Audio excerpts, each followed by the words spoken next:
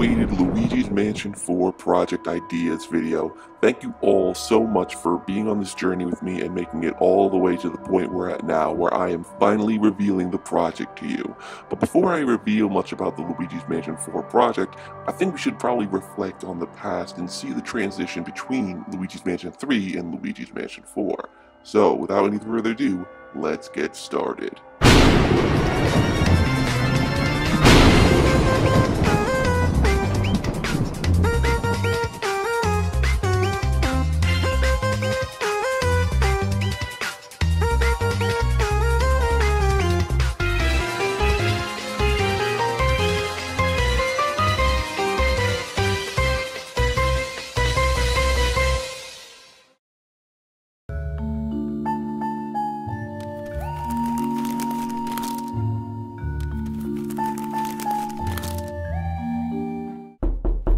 Capito tu, zero matato. Oh oh!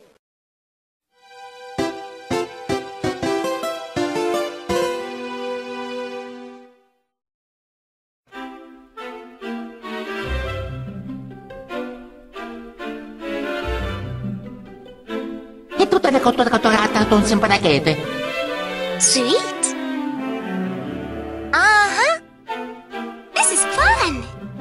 Peachy. Yahoo! Yay! Okay, let's go. Woohoo!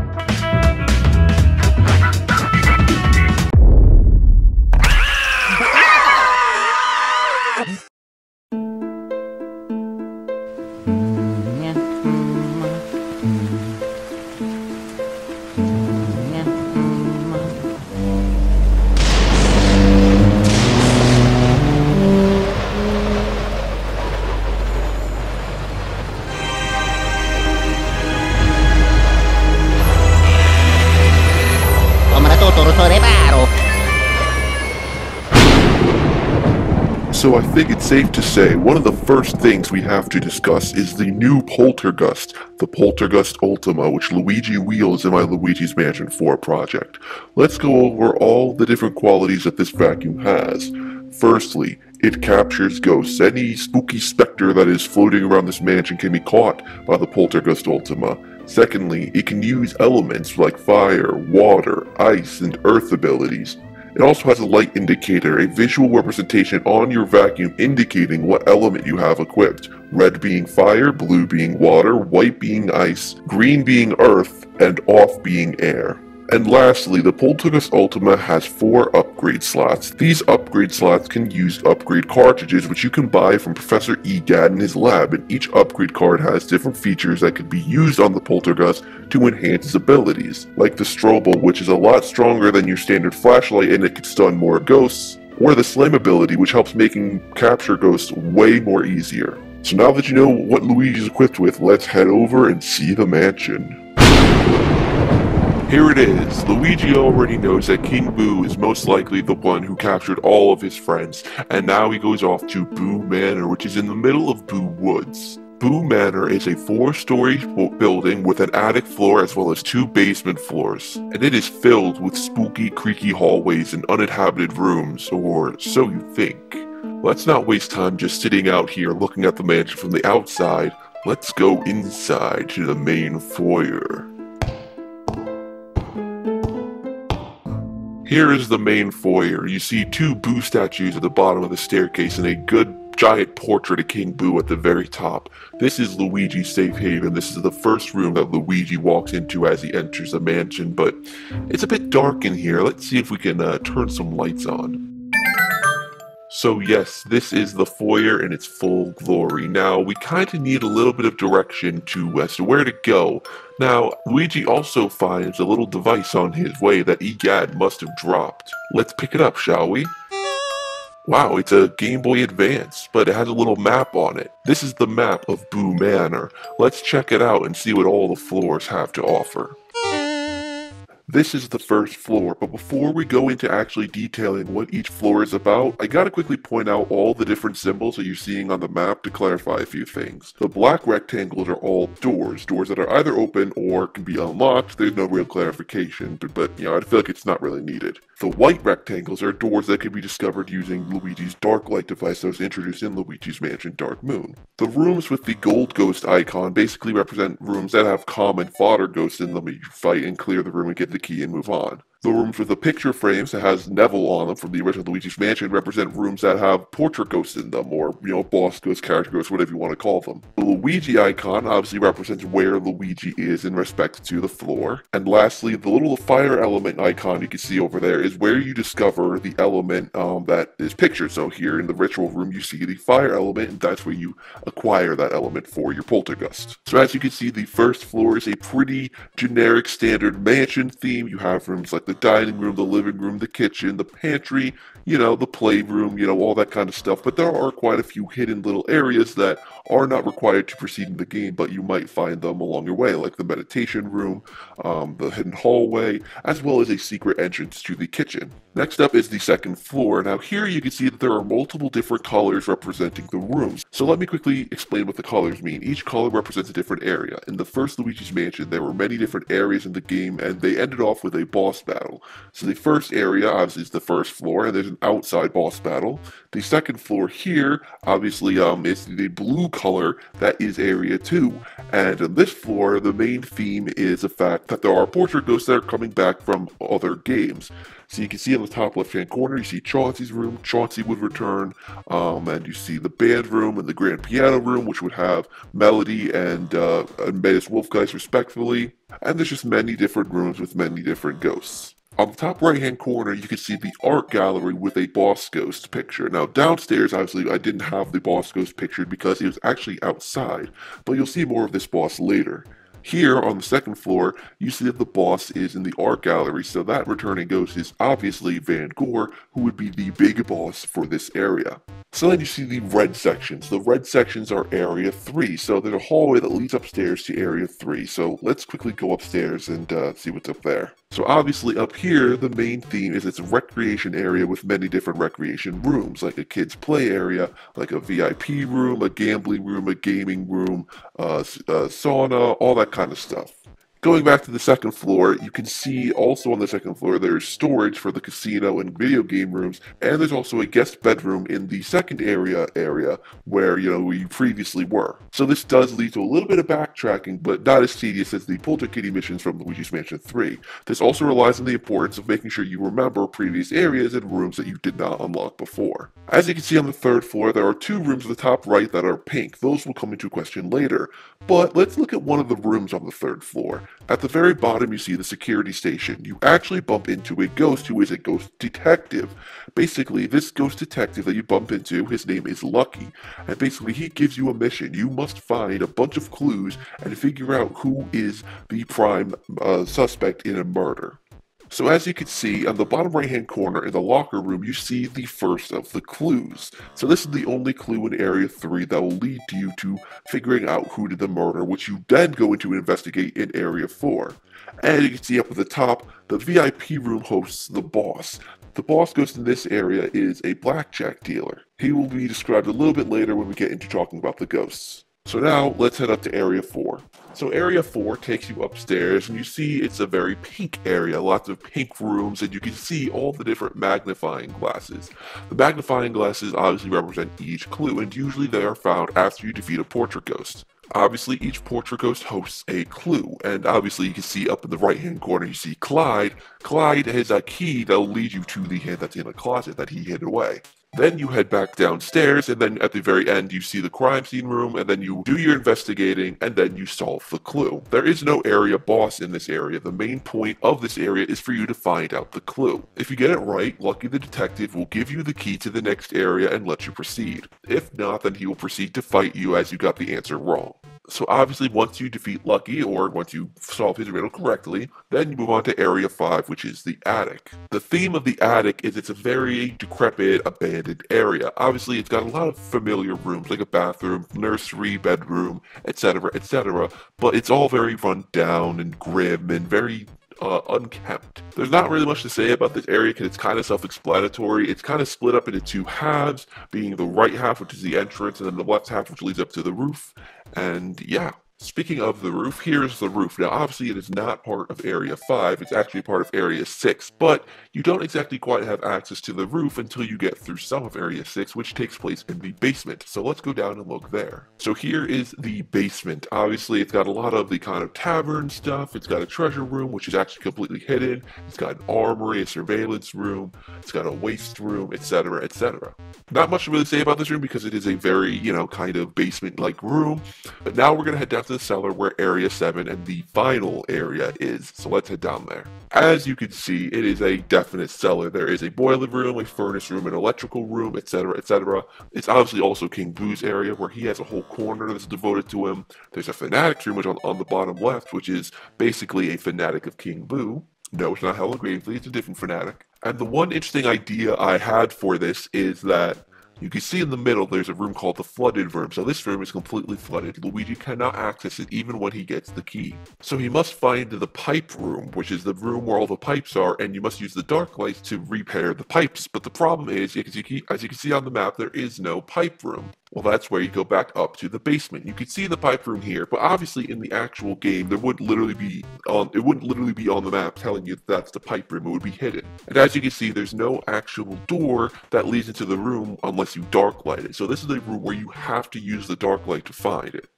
Of course, there would be a clue telling you that this room is in the basement, but you would have to look around and look for this pipe room.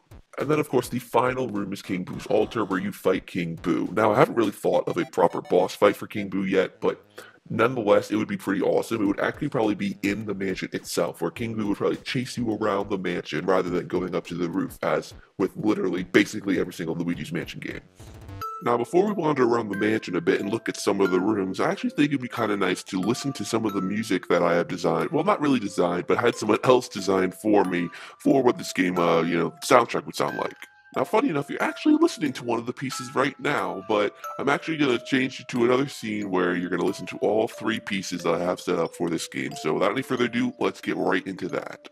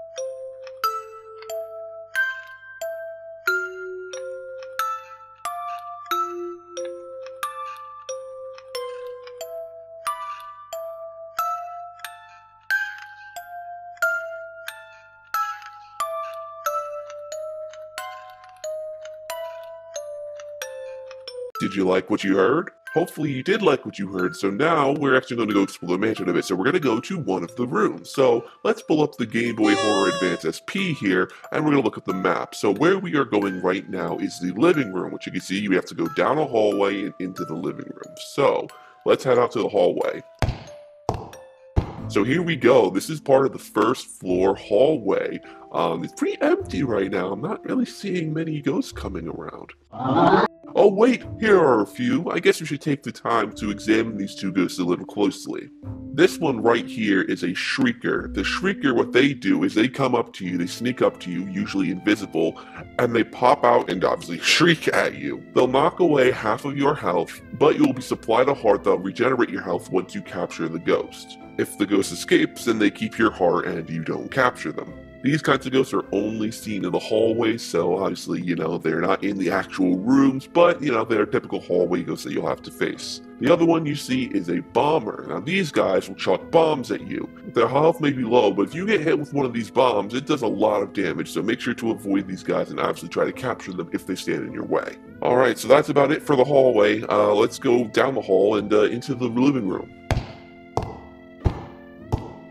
Here is the living room. Uh, it's nice and peaceful in here, isn't it? Well, besides the kind of torn up couch, the portrait of King Boo staring at us in the background, and the overall dark and creepy nature of the room.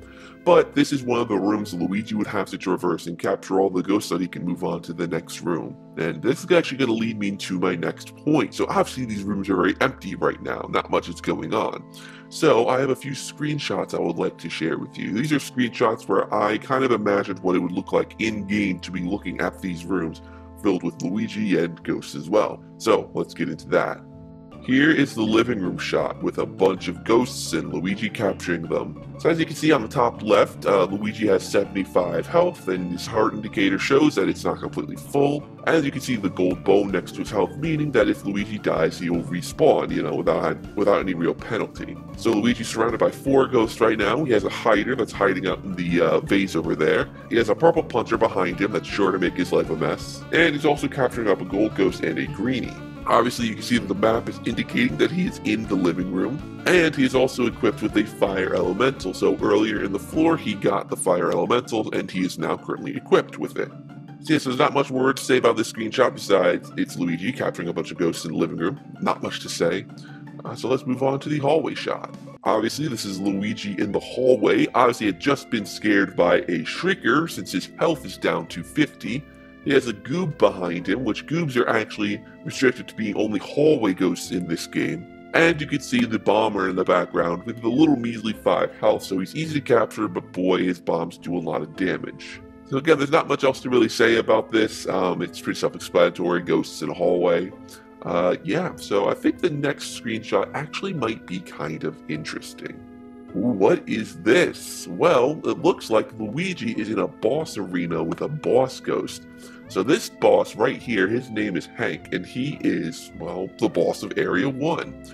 In Area 1, you go outside to the main garden area, and then you head in the back towards the woods, and Hank is sitting there waiting for you. He is what I like to call a crazed woodsman, and he takes you into his arena, and basically he swings his axe at you. And the point is, you want to get him to swing his axe into one of the stumps, so that his axe gets stuck so he can't attack you. That is when he becomes vulnerable, and then you can stun him and capture him up. Sure, it's a pretty simple boss fight, but it's the first boss fight of the game. It wouldn't be anything too complicated anyways. And you see EGAD rooting for you in the bottom right hand corner there.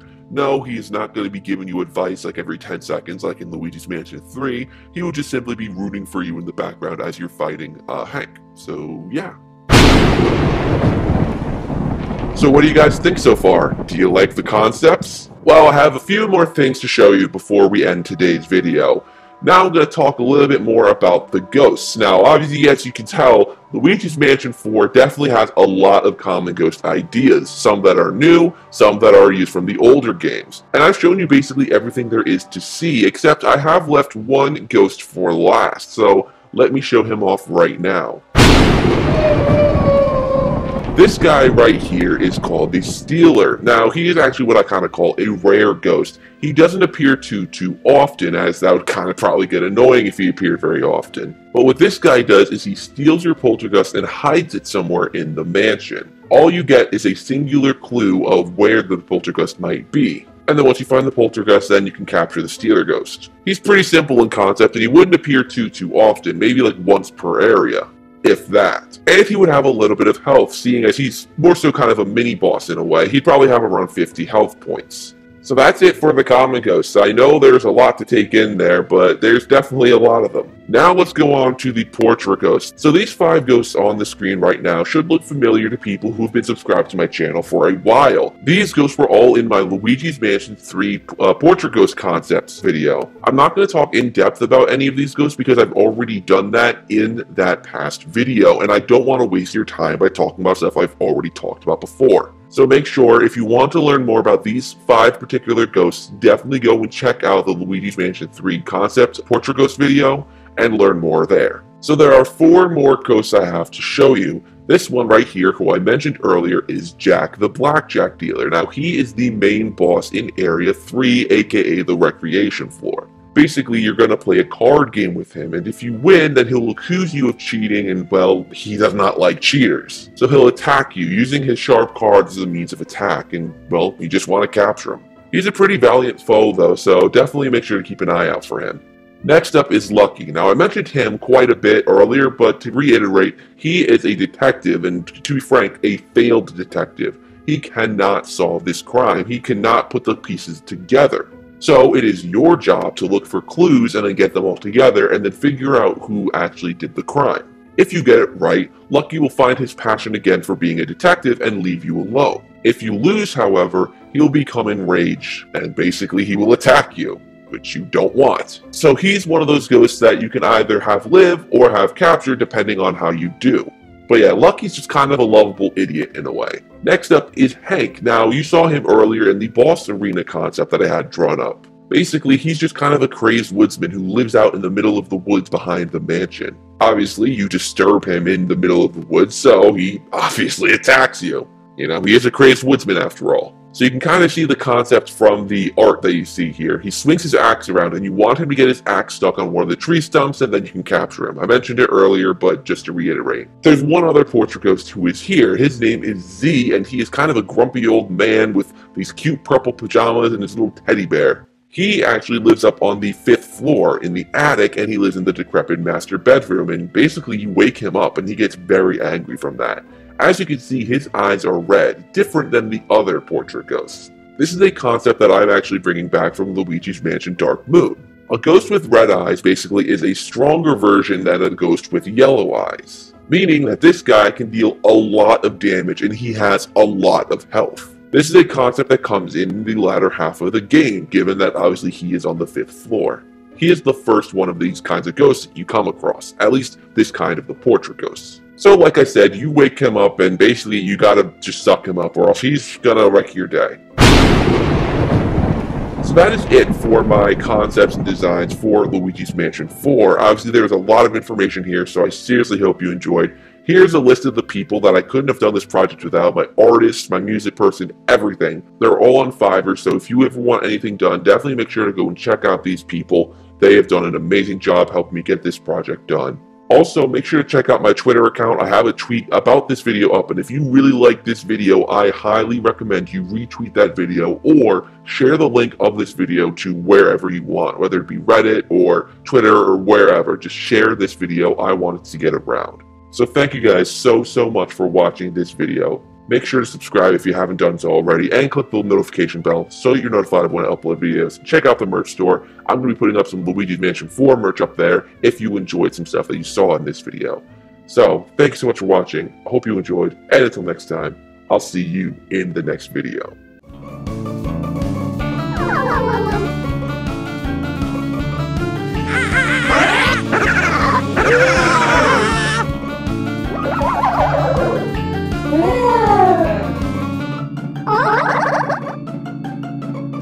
What?